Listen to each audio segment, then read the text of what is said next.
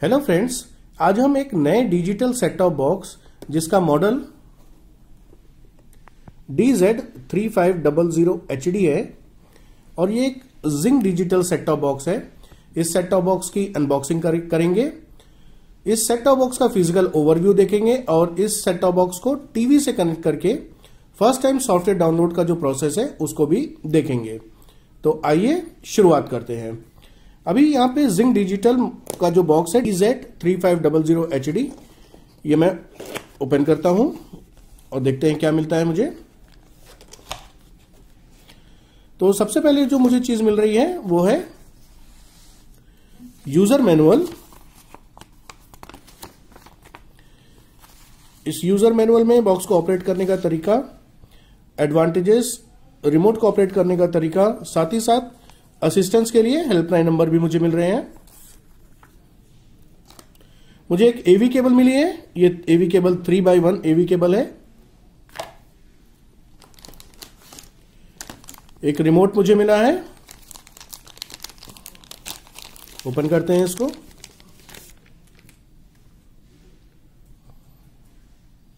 यहाँ पे मुझे जिंक डिजिटल का लोगो दिख रहा है। और पीछे की तरफ़ देखेंगे तो यहाँ पे मुझे इंस्ट्रक्शन दिख रहे हैं रिमोट को टीवी के रिमोट के साथ पेयर करने के लिए। यानी ये रिमोट की ये जो कीज हैं, ये टीवी के रिमोट के साथ पेयर हो सकती हैं। रिमोट को ऑपरेट करने के लिए मुझे यहाँ पे दो pencil cell triple A size के मिल रहे हैं। सेट टॉप बॉक्स को पावर देने के लिए ये पावर एडॉप्टर मुझे यहाँ मिल रहा है।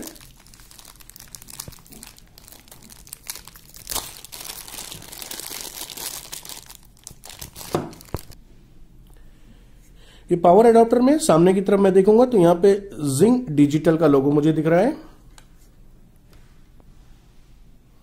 और ये 12 वोल्ट एक एम्पियर का एडॉप्टर है।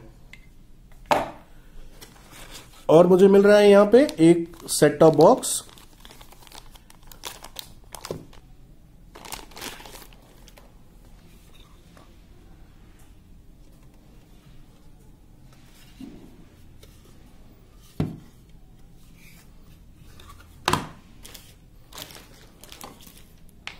तो आइए अब इस सेट टॉप बॉक्स का जो फ़िज़िकल ओवरव्यू है, उसको देखते हैं।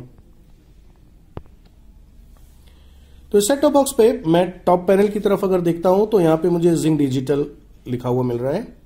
एक स्टिकर लगा हुआ दिख रहा है मुझे, जहाँ पे मुझे वीसी नंबर और सेट टॉप बॉक्स नंबर की डिटेल मिल रही है। साथ ही साथ हेल्पलाइन नंबर भी मुझे यहाँ पर लिखा हुआ मिल रहा है। फ्रंट पैनल की तरफ़ चलता हूँ। तो राइट हैंड साइड पे मुझे जिंग डिजिटल लिखा हुआ दिख रहा है और इसका सेट टॉप बॉक्स नंबर भी मुझे मॉडल नंबर भी मुझे लिखा हुआ यहाँ पर दिख रहा है। लेफ़्ट हैंड साइड पे सेंसर दिख रहा है और एक बटन है स्टैंड बाई बटन ये मुझे यहाँ पर दिख रहा है। लेफ़्ट पैनल और राइट पैनल पे मैं चलूँगा तो यहाँ पे एयर वेंटिलेशन के लिए स्पेस दिख रहा है मुझे। बैक पैनल की तरफ़ जब मैं चलता हूँ, यहाँ पे मल्टीपल पोर्ट्स मुझे दिख रहे हैं, जिसमें पहला पोर्ट एंटीना केबल लगाने के लिए है एचडीएमआई पोर्ट अगर सेट टॉप बॉक्स को एवी केबल से कनेक्ट करना है तो एवी पोर्ट और सेट टॉप बॉक्स को पावर देने के लिए पावर पोर्ट यहाँ पर मिल रहा है मुझे। बॉटम पैनल पर चलता हूँ तो यहाँ पे एयर वेंटिलेशन के लिए स्पेस है, साथ ही साथ एक स्टिकर मिल रहा है मुझे। इस स्टिकर पे सेट टॉप बॉक्स का model number serial number chip ID और वीएससी डिटेल्स मुझे मिल रही हैं। तो आइए अब सबसे पहले इन पोर्ट्स को कैसे कनेक्ट करना है टीवी के साथ में, ये सबसे पहले हम देख लेते हैं। तो अभी मैं इस सेट टॉप बॉक्स को इस एंटीना केबल से कनेक्ट करता हूँ।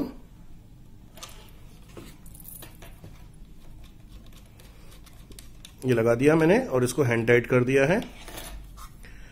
अब इसमें मैं एचडीएमआई केबल लगाऊँगा। एचडीएमआई केबल का दो सिरे हैं। एक सिरा टीवी में लगेगा एचडीएमआई पोर्ट में, और दूसरा सिरा इस सेट टॉप बॉक्स में कुछ इस तरीके से बैठा दूँगा मैं। अब अगर टीवी एचडीएमआई नहीं है तो मुझे एवी केबल की ज़रूरत पड़ेगी। मैंने यहाँ पे three by one AV cable लिया हुआ है, जिसमें से ये वाला हिस्सा कस्टमर के टीवी में लगेगा, जिसमें से येलो से मुझे वीडियो और रेड एंड व्हाइट से मुझे ऑडियो मिलेगी। और ये सिंगल हिस्सा मैं इस सेट टॉप बॉक्स के, इस एवी पोर्ट में यहाँ पर लगा देता हूँ। ये मैंने लगा दिया है। अब सेट टॉप बॉक्स को पावर देने के लिए मैं पावर एडॉप्टर लगाऊँगा यहाँ पे। ये मैंने पावर एडॉप्टर लगा दिया। और जैसे ही मैंने पावर एडॉप्टर लगाया है, आप देखेंगे यहाँ पे मुझे ग्रीन एलईडी दिख गई है। तो आइए अब इस सेट टॉप बॉक्स को टीवी से कनेक्ट करते हैं और इसका फ़र्स्ट टाइम सॉफ्टवेयर डाउनलोडिंग का जो प्रोसेस है, उसको देखते हैं। तो सेट टॉप बॉक्स को मैंने यहाँ टीवी से कनेक्ट करके रखा हुआ है।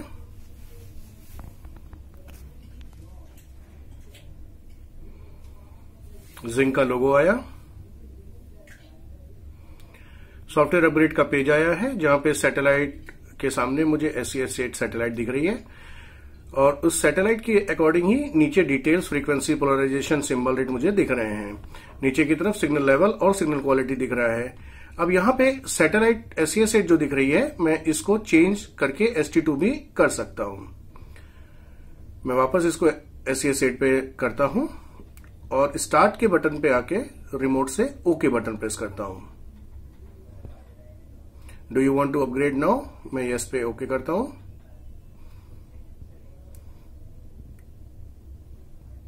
और बॉक्स सॉफ्टवेयर लेना स्टार्ट कर देगा।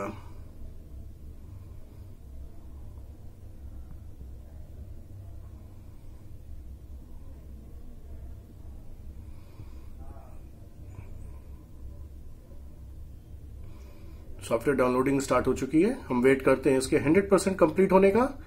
इस ड्यूरेशन में हमें सेट टॉप बॉक्स ऑफ़ नहीं करना है। देखिए 95 परसेंट हो चुका है। वेट करते हैं इसके 100 परसेंट होने का। और सॉफ्टवेयर होने के बाद में अब ये फ्लैश राइटिंग का पेज आया है। इसका भी वेट करते हैं कंप्लीट होने का 100 परसेंट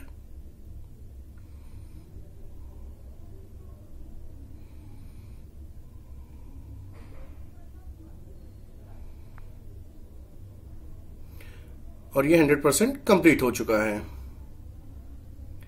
तो सॉफ्टवेयर सॉफ्टवेयर अपग्रेड सक्सेसफुली हो चुका है। लोडिंग प्लीज़ वेट का पेज आया।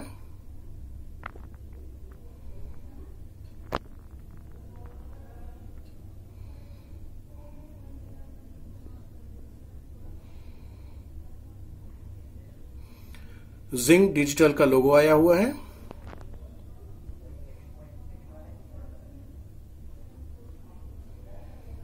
अब यहाँ पे फ़र्स्ट टाइम इंस्टॉलेशन का पेज आया है, जहाँ पे मेन्यू लैंग्वेज इंग्लिश दिख रही है।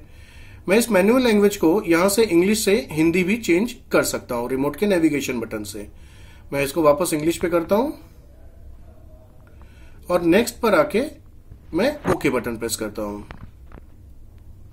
यहाँ पे सैटेलाइट के लिए मुझसे पूछा जा रहा है। सैटेलाइट एस सी हमने रखी थी सैटेलाइट एस सी ही रखते हैं। और स्टार्ट सर्च पे आके ओके बटन प्रेस करते हैं। चैनल स्कैनिंग अपडेट स्टार्ट होगी। ये हंड्रेड परसेंट कंप्लीट हो चुकी है। देखिए इंडिया वर्सेस न्यूजीलैंड का और अब मुकाबला सिर्फ़ उन्नीस रुपए प्रति चैनल प्रति माह पर। और अब बॉक्स होम चैनल पे आ गया है।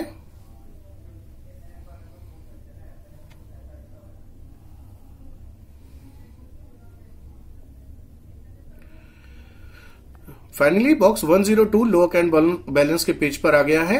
अब यहाँ पे हम एक्टिवेशन कमांड सेंड करेंगे। तो फ्रेंड्स ये था पूरा process DZ three five double zero H D set top box में फ़र्स्ट टाइम सॉफ्टवेयर इंस्टॉलेशन का। Thank you so much